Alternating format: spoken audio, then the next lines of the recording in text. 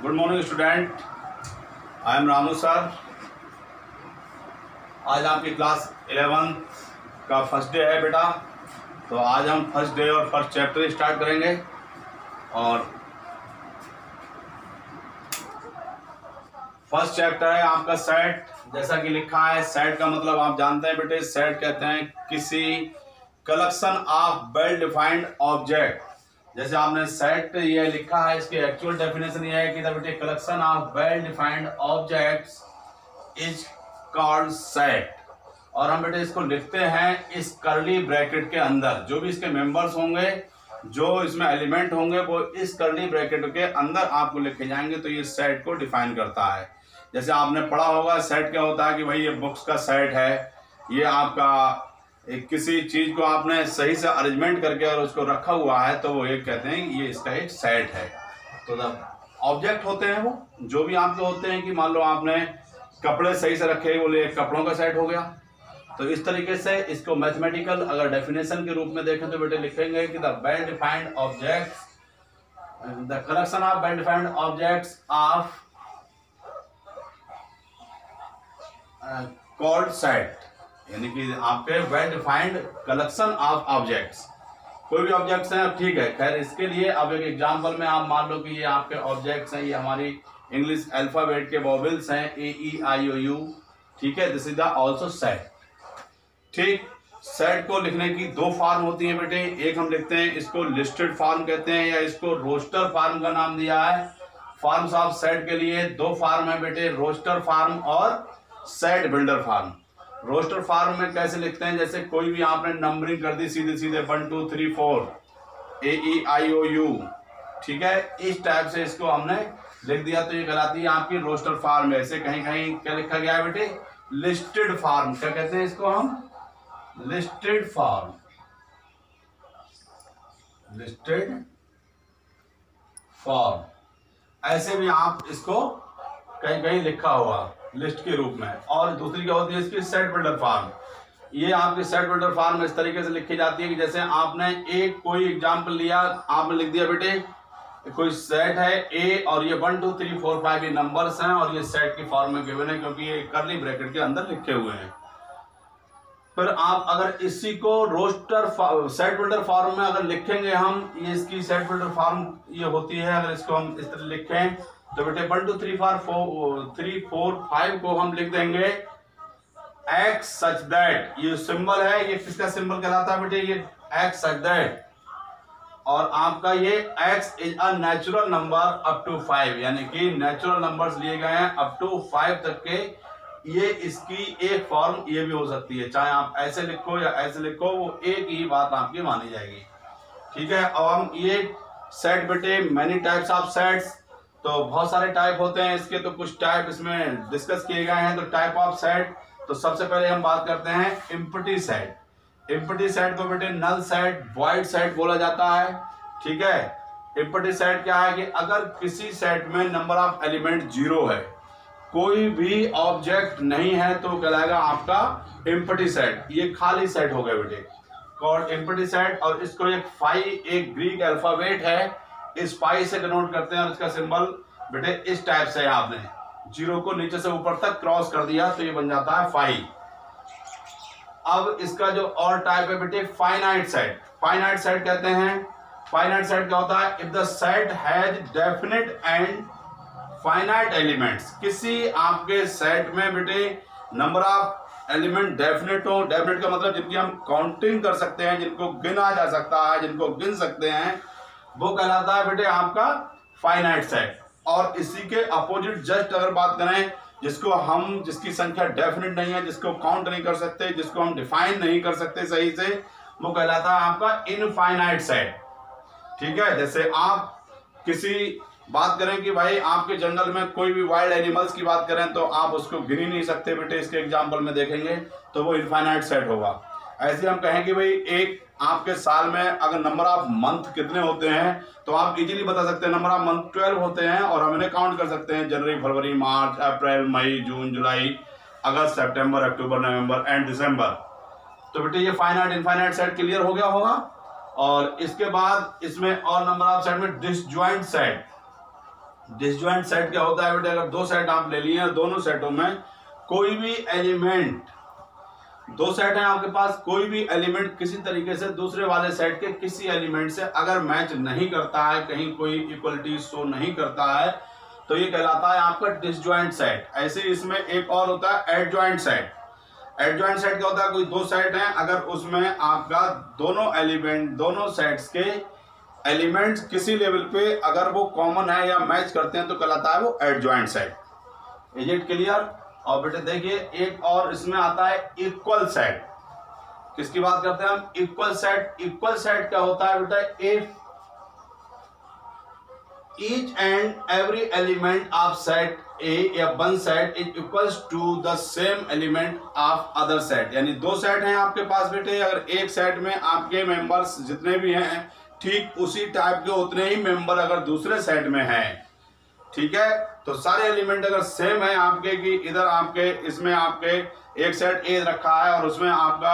इसमें घोड़ा गधा और बकरी है तो दूसरे वाले सेट में भी घोड़ा गधा बकरी मान लो है तो वो इक्वल सेट कराएंगे उनकी बिल्कुल इक्वलिटी हो जाएगी तो ये आपका इक्वल सेट हो गया ऐसे बेटे एक होता है इक्वेलेंट सेट इक्वेलेंट सेट में होता क्या है कि इसमें नंबर ऑफ एलिमेंट इक्वल होते हैं जरूरी नहीं है बुक की वो सेम हो नंबर ऑफ एलिमेंट मीन्स जैसे सेट आपका ए है और ये वन टू थ्री है आपका बेटा और बी है और इसमें आपका एक्स बाई और ये जेड है तो इनमें कोई इक्वलिटी नहीं है बट ये इक्वलेंट होंगे क्योंकि नंबर ऑफ एलिमेंट तीन इसमें है वन टू थ्री सिमिलरली इसमें भी नंबर ऑफ एलिमेंट कितने बेटे वन टू थ्री तो ये इनके नंबर ऑफ एलिमेंट अगर इक्वल होंगे तो ये कहलाएगा आपका इक्वेलेंट सेट तो इक्वल सेट और इक्वेलेंट सेट में डिफरेंस समझ में आ गया होगा सीधा सा कि उसमें आपका each and every element equal to the other set is known as equal set but in equivalent set the number of element in set A is equal to the number of element of in set B are equal now let we take इसको note कर लीजिए बेटा ये set और इसकी कुछ type हैं उनको और डिफाइन करते हैं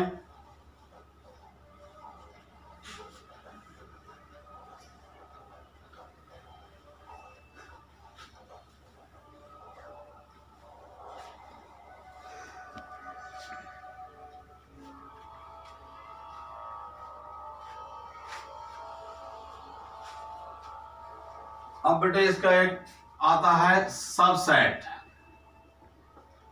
सबसेट अगर आपका बेटे two set if each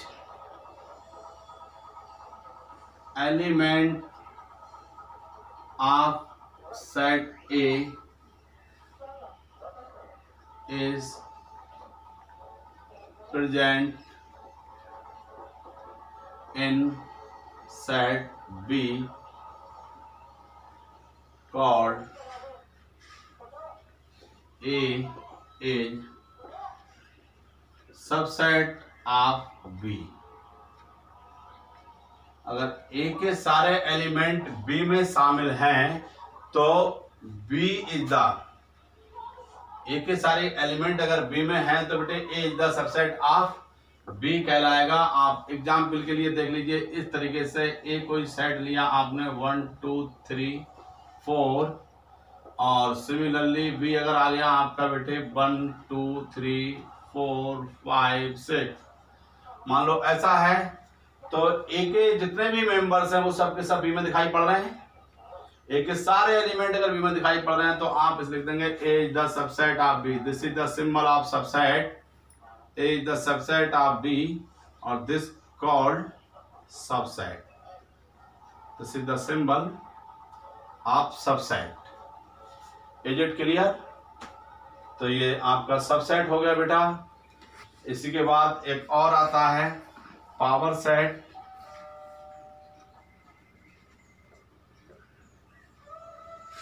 ये आपका है पावर सेट बेटे पावर सेट क्या होता है number of total number of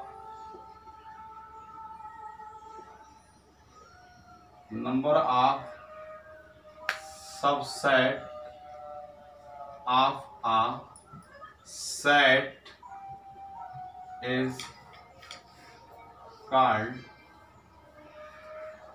power set, denoted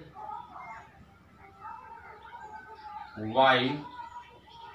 two to the power n where